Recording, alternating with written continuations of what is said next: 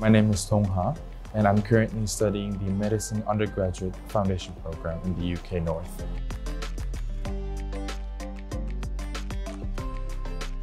According to my agent, um, there was a lot of people uh, in Korea that successfully uh, progressed to the medical school in the UCLan, and uh, the program itself was very um, supporting uh, and helpful for them to progress.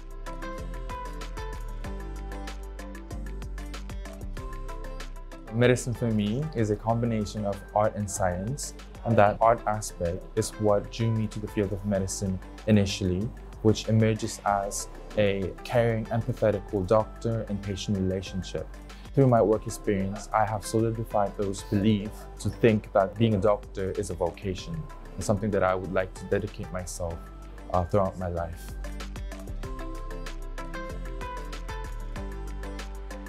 I volunteered at the Oxford University Hospital and also I volunteered in a Townsend care home where I have to befriend with the elderly pa patients with dementia.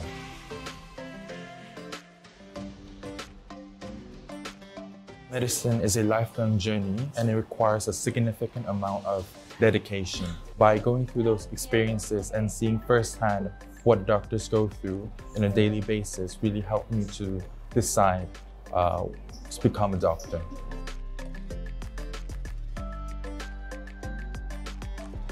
Uh, they support it in a holistic way, uh, not only academics, but also activities for students to refresh. Teachers are obviously very professional. They're really proactive and they really listen to what students want.